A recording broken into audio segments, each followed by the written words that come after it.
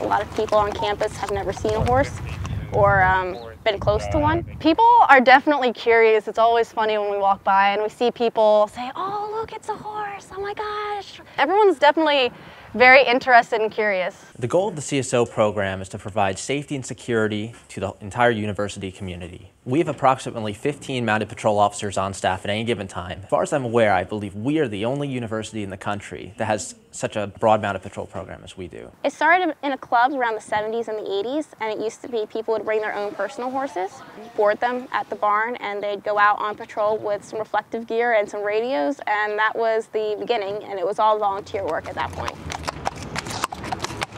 The Mounted Patrol CSOs have a unique job to perform. They're tasked with being a positive experience with the, the police department. The uniform sort of makes you a little less approachable because people think, oh, they're law enforcement, you know, we got to stay away because they're going to get us in trouble or something. But when you're on a horse, people are more interested. It's definitely much more approachable on the horse. People want to come over, say hello, pet the horse.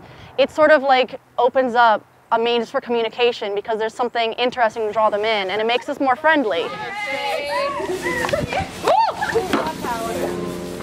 All of our horses are standardbred race horses, generously donated by the Standardbred Retirement Foundation. We have to clean them, you know, check for any injuries or anything that could be off with them. We're pretty much responsible for their daily care. You get to know them very well, you learn their personalities, and you spend time with them. They're like my coworkers and my buddies. They're always friendly, they're always pleasant to see, and it's an animal you get to pet and cuddle with, and you get a relationship with them, and you learn their little quirks. Well, it's been a great experience for four years.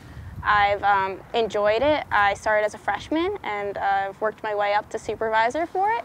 And it's been a really great experience with both the CSO program and working with the horses.